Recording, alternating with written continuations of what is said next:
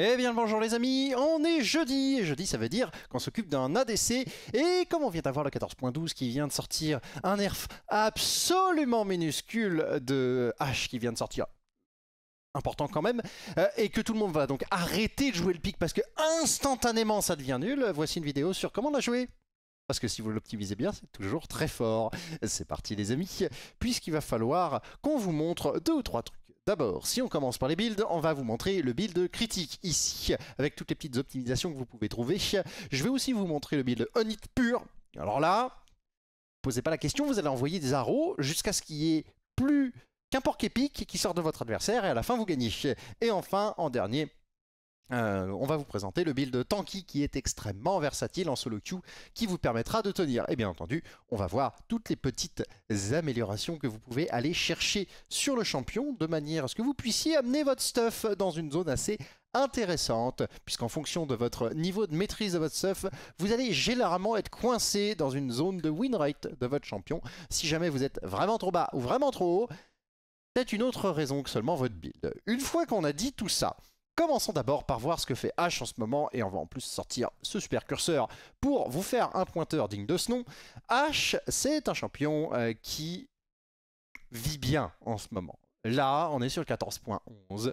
Elle va très bien. Tout le monde s'est aperçu que c'était très fort, donc s'est mis à la jouer un peu plus tard. D'ailleurs, vous remarquerez que c'est ici euh, qu'on se met à la jouer euh, majoritairement. Et là, vous voyez que sur les premiers points, instantanément, nerf de H, H égale, c'est nul. Non un champion qui part à 55% de win rate, si on le nerf une fois, il devient pas nul, il devient seulement très bon. C'est ça qui se passe. Le ban rate par contre va devenir un peu plus supportable. Ce qui est intéressant pour les joueurs de H, c'est qu'on va arrêter d'augmenter le ban rate. Parce que là on était arrivé à une game sur 5 vous êtes ban. Euh, ce qui veut dire que vous devez commencer à sortir un autre pic pour jouer. À 1 sur 10, 1 sur 20, vous dodgez, c'est pas grave. 1 sur 5, vous dodgez tous les jours.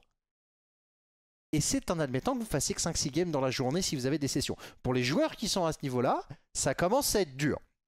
Donc là, le fait de juste baisser le ban rate, ça va être extrêmement important pour le pic. Une fois qu'on a dit ça, H c'est un champion qui a des forces. C'est pour ça qu'il est fort. C'est parce que son early game il est absolument stupide. Ça a une grosse phase de lane. C'est généralement pris à l'ancienne époque contre Caitlyn. À l'époque, Caitlyn avait une phase de lane qui était imprenable.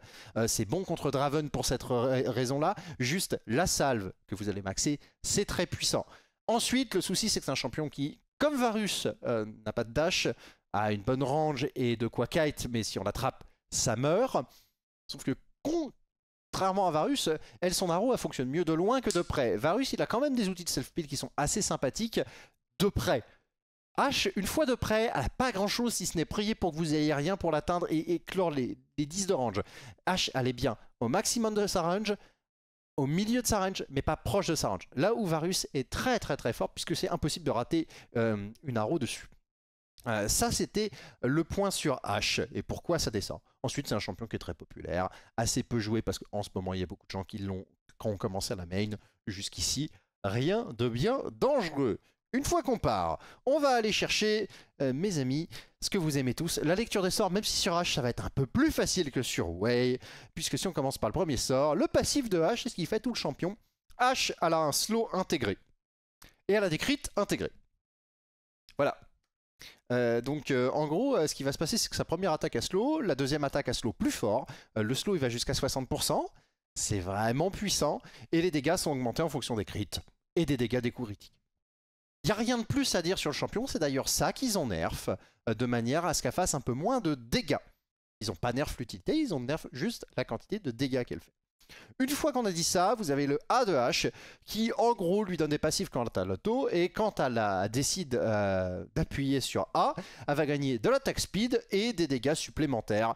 Euh, grosso modo, euh, ça va juste scale un peu mieux. Le ratio de dégâts d'attaque, il va passer de c'est son auto à c'est son auto avec 25%. Sauf que c'est 25% sur des critiques, donc c'est des pourcentages sur des pourcentages sur des pourcentages, des dégâts multiplicatifs en général sur League of Legends très fort.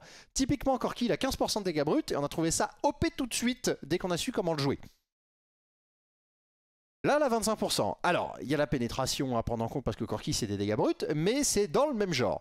C'est là où vous voyez pourquoi le passif de Corki est fort, parce que lui c'est 15% flat quoi qu'il arrive au rang 1. H, elle a besoin de mettre quand même euh, pas mal de temps dans ce sort. Ce qui est assez intéressant, c'est qu'il y a 55% de move speed. Ça augmente très fortement l'attaque speed de, de H. Ça lui permet de faire des dégâts au fur et à mesure. Ça devient un champion qui fait des dégâts tout le temps. Euh, ce qui peut avoir un intérêt pour pas overkill avec une auto à 600 et si vous la mettez pas, eh ben, votre adversaire vous tue avant. H n'a pas trop ce problème là, même si ça reste des autos. Et il n'y a pas grand chose de, plus à dire euh, sur euh, ce sort, si ce n'est qu'il ne se, se stack pas sur les tours. Par contre, si, vous arrivez à, à arriver stacké et à le déclencher sur les tours, ça marche. C'est ça une petite astuce qu'il faut avoir. Vous avez le Z de H. Alors, c'est une salve de flèches. Vous avez 7 flèches au début et ça monte à 11 si vous le maxez. Et chaque flèche fait des dégâts. Et si ils sont touchés par plusieurs flèches, ça change rien, ni sur le slow, ni, ni autre chose. L'avantage, c'est que ce sont des, euh, le, slow est géré par votre slow max de votre passif. Donc il monte avec vos niveaux. Les dégâts de base sont, augmentent, sont multipliés par 4, mais grosso modo c'est votre AD euh, total qui compte dans la plupart des dégâts. Par contre c'est le délai de récupération qui passe de 18 à 4 et le coût en mana qui baisse. C'est-à-dire que c'est un des rares sorts de POC que je connaisse qui monte pas en coût en mana, qui diminue drastiquement, drastiquement, en termes de, de, de, CD et qui monte pas tant que ça en termes de dégâts. D'habitude, c'est l'inverse. Le dégât est plutôt joué sur les items de hache, qui aiment donc avoir beaucoup d'AD, et pas tant que ça sur euh, son ratio de base. Même s'il multiplie par 4, 20 à 80, ça change rien. Euh, c'est un très très très bon sort. On, vous avez le E de H. Euh, vous voyez Tyrant Whisperwind. J'ai pas le nom en français, désolé, j'ai joué à Warcraft 3 avant qu'on retraduise tout. dans Warcraft, eh ben, c'est le même pigeon. Ça a été inspiré de ça. Vous lancez un pigeon, et bah, ça va donner la vision de la zone. C'est très important pour H support. Pour HADC, c'est cool. C'est tout. Et bien entendu, il y a la roue de hache. Euh, il n'y a pas grand chose à dire de plus euh, sur ce spell, qui est vous lancer une flèche de cristal qui va relativement vite, qui fait relativement mal, qui a un bon ratio AP.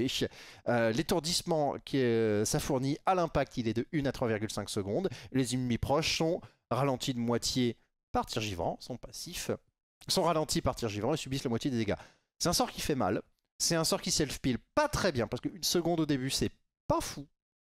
Par contre, si vous la touchez au bout de la map, comme outil d'engage, c'est génial. Ce qui fait que H, on a un personnage qui est très utilitaire ici.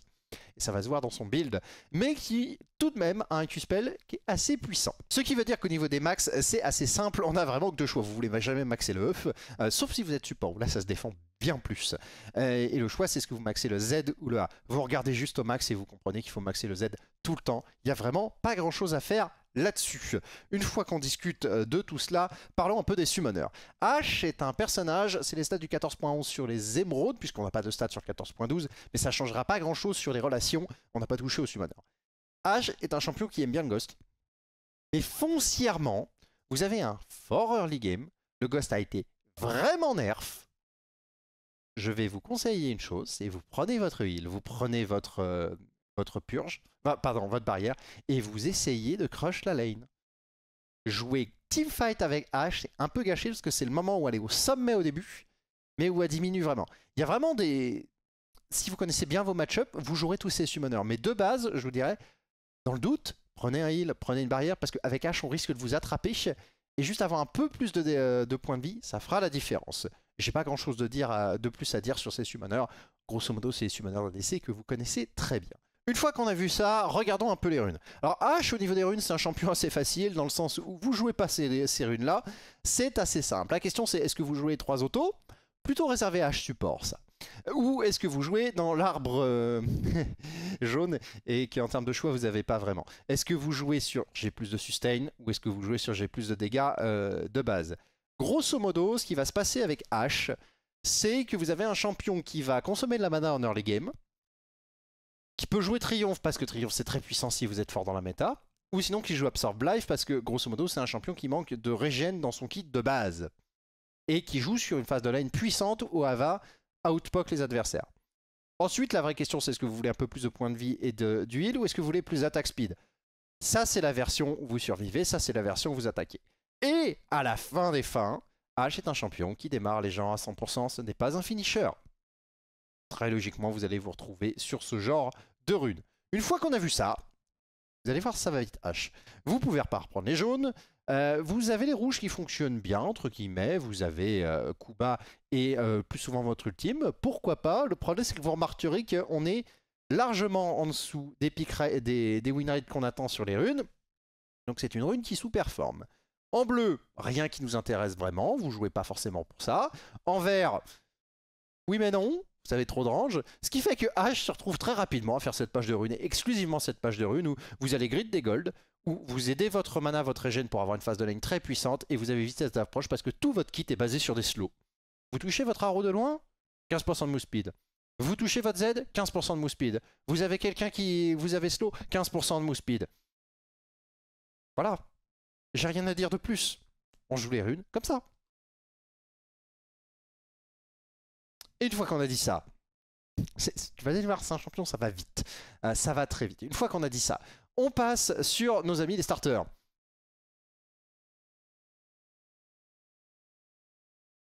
Voyons voir les bots.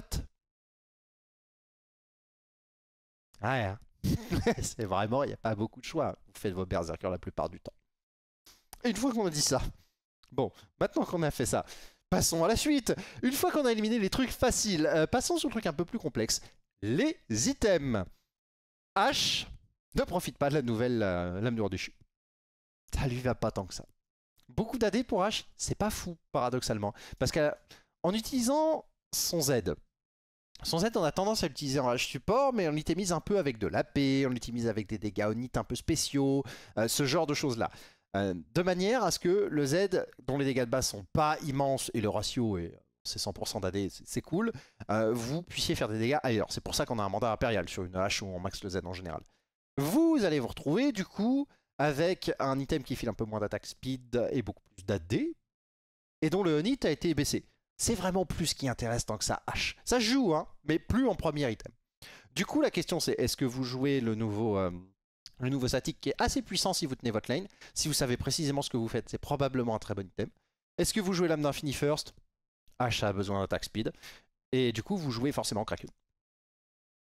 La question c'est qu'est-ce que vous faites à partir de, ce Kraken?